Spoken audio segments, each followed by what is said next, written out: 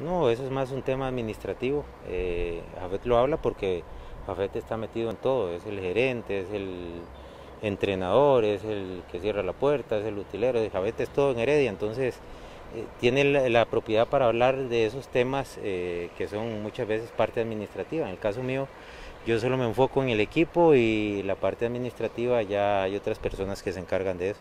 Sí desconcentra al jugador. No sé, eso tendrían que preguntárselo a él si lo, está, desconcentrando. Nosotros estamos entrenando bien con todos los jugadores eh, por igual. Yo siempre he confiado en la honradez de los, futbolistas. Entonces, este, como les digo, ese es, un tema más administrativo que tal vez Jafet lo comenta, porque ahora es entrenador y, también es, es parte administrativa del Club Sport Herediano.